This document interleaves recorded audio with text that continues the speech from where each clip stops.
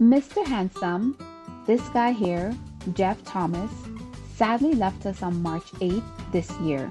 It happened at his Miami luxury condo. Jeff was a real estate investor and a fashion model. He studied international business. He boasted over 120,000 followers on his Instagram page. He was well known to A-list celebrities and people of affluent status such as he was romantically involved with entrepreneur billionaire Peter Thiel.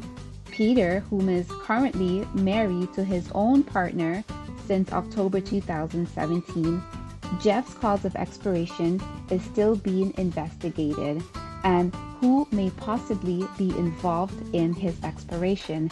We're just going to have to wait for the investigation to be concluded as we shouldn't make speculations at this time. Condolences to his Hope you like our content. Please help us grow by subscribing. Thanks.